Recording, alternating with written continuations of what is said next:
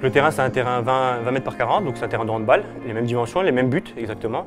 Le ballon est plus petit et plus il est lesté par rapport au foot à 11, donc euh, plus lourd, moins de rebonds, etc. pour faciliter le jeu rapide au sol. Les municipalités ou les communautés de communes, elles prêtent les gymnases à l'année aux, autres, aux autres sports, hein, comme le hand, le basket. Ou, eh ben on vient en concurrence d'eux et souvent bah, les créneaux sont pris.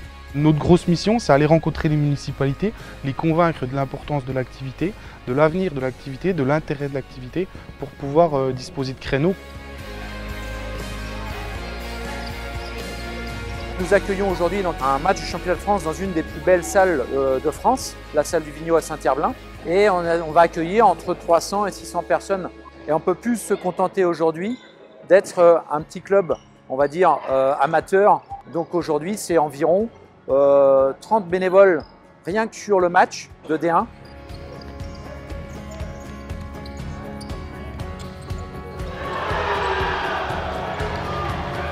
On connaît le coût euh, des gymnases, exorbitant souvent, qu'on doit partager en plus de ça avec beaucoup de disciplines.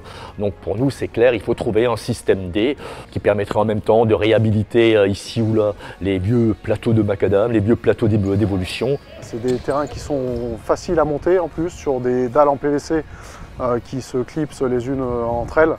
Donc très rapide au niveau du montage, je crois qu'en un jour le terrain est mis en place. La Fédération française de football participe donc au financement de, ces terrains dans le cadre du, FAFA, c'est-à-dire du Fonds d'aide au football amateur.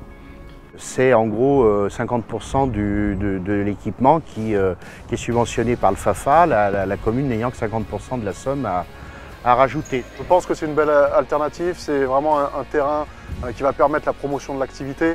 on va être sur plutôt un, euh, une pratique euh, loisir, voire un peu plus. Euh, et puis après, pour les compétitions officielles, bien entendu que le gymnase reste l'outil de référence.